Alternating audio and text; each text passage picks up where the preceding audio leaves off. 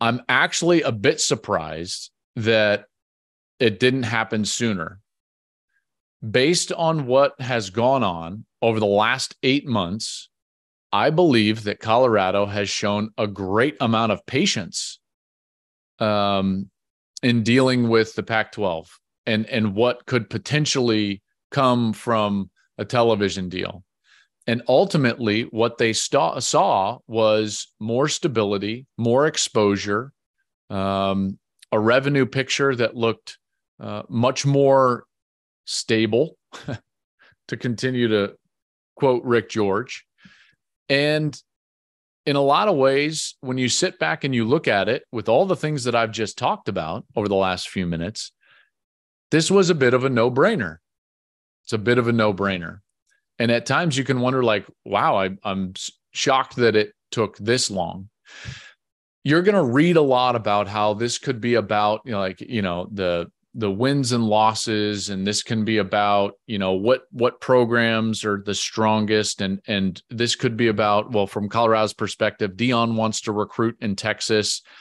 You see I, I don't think it's necessarily about those things. I think it's more about what i've been talking about from a marketplace standpoint and then you get into colorado makes this move this move is beyond coach prime this move is for the future of the athletic department and institution. They needed to make this move because of the instability of the Pac 12, clearly, and what they viewed as a better partnership and way forward into the future in the Big 12. Um, after USC and UCLA moved, you know, the Pac 12 was already on shaky ground.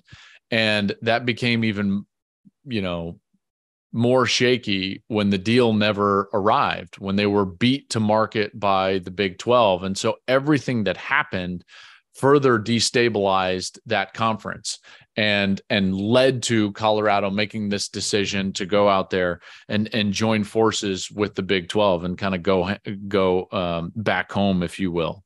Um where does that leave us? And actually last thing on Colorado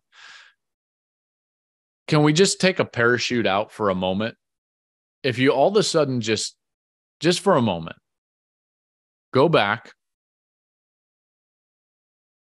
this is a 1 in 11 football team that lost by an average of 29 points and had one maybe two winning seasons dating back to 2005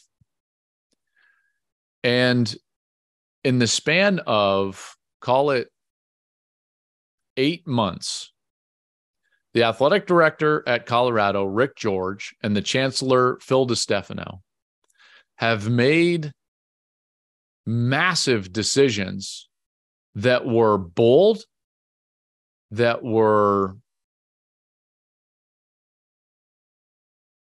I mean, to, to put it lightly, like legacy decisions.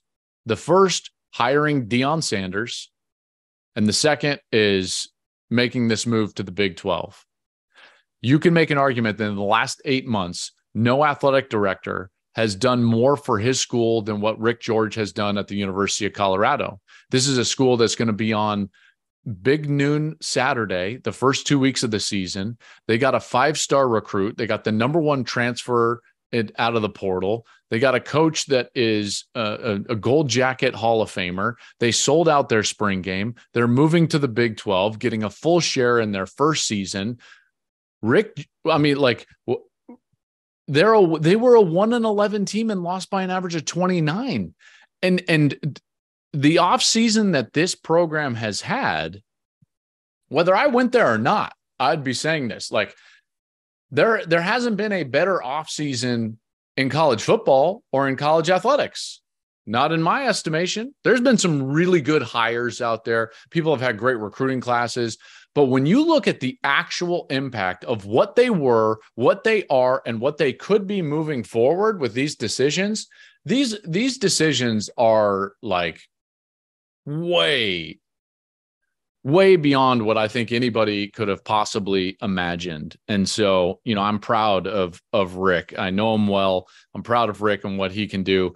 Um, and and this in some ways because of what Brett told us on the show in Big Noon Conversations when he's when I asked him about like if you're expanding, what do you look for? And he talked about brand upside. Well, you know what brand upside means? The prime effect.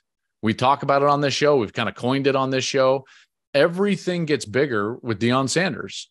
Okay. Now people will take shots and you see it all over college football, coaches taking shots at him. But everything that that you could see that has potential to it, it goes to a 10 as well. That's the prime effect. Do you think Colorado's in the Big 12 without Deion Sanders? I don't know. I don't know. That's I think that's a great question. You can make an argument that they that they wouldn't be because they wouldn't have that brand upside. So these decisions, I tell you what, they are they are generational in their impact of what uh, Phil DiStefano, the chancellor, and uh, Rick George, the AD, have made at Colorado.